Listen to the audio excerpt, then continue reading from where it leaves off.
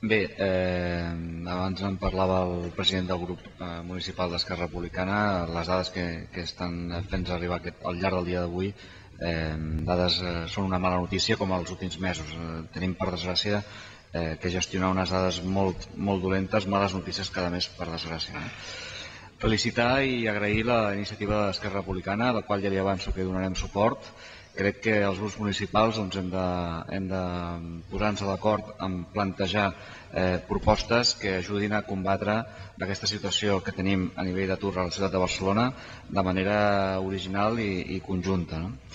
Eh, creiem que mm, la majoria de punts que plantegen a la iniciativa eh, vinculades al, al foment de la, de la formació com la principal eina. Creiem realment que és la formació el principal eix pel qual doncs, eh, podem intentar la palanca de canvi per intentar canviar la situació, una de les principals, i per tant totes aquelles iniciatives que, que passin per la línia d'enfortir de, el nostre teixit formatiu per donar resposta a la gent eh, en situació d'atur doncs, eh, són molt benvingudes pel nostre grup i per tant doncs, ja l'avanço que votarem favorablement. Tenim, però, algunes coses que volem posar damunt de la taula per, per ajudar a fer aquest debat, eh, ampliar aquest debat. No? La primera és que les iniciatives portades fins al dia d'avui són iniciatives que valorem favorablement però que entenem que han de ser més intensives. Quan gestionem les uh, polítiques d'atur, sobretot les polítiques d'increment del nivell de formació dels aturats i de canvi de, de, de capacitats formatives, hem d'insistir molt en el tractament individualitzat de cada un dels casos. Eh?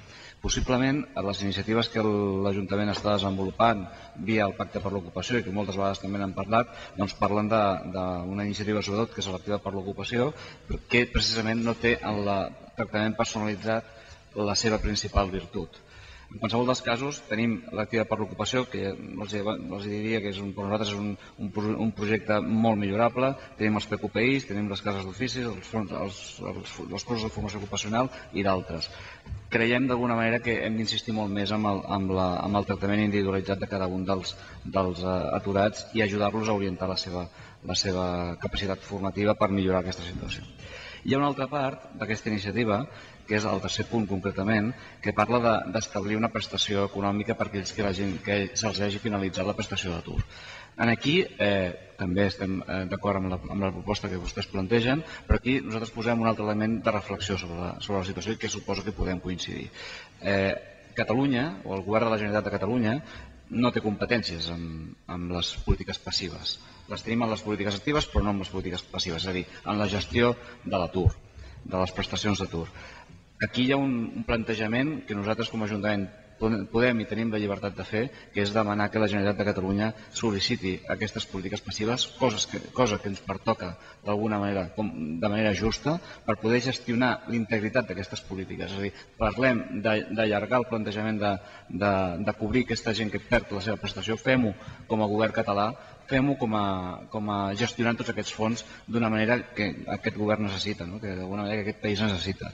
Per tant, nosaltres voldríem que aquesta iniciativa tingués aquest punt, a més a més de tots aquests punts que considerem molt correctes, de reclamar també que el govern de la Generalitat insti el govern de l'Estat a que transfereixin les polítiques passives, és a dir, la gestió dels fons d'atur, eh, al nostre país, que ens ajudaria a coordinar i a fer millors polítiques per poder arribar en, aquests, en aquestes persones que necessiten aquests diners per poder tirar endavant i poder canviar la seva situació. Gràcies.